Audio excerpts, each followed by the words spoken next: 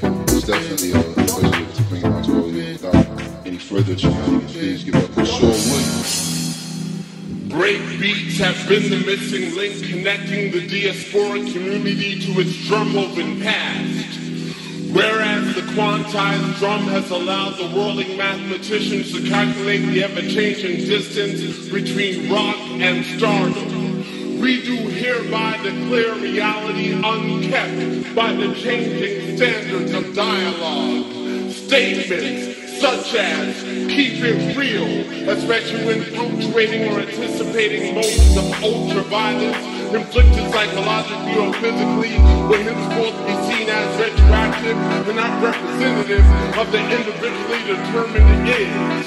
Motherfuckers better realize, now is the time to self-actualize. Studies show that within a given norm is change in the face of the unchanging, the remaining contradictions will parallel the truth. Equate rhyme with reason, sun with season, reject mediocrity.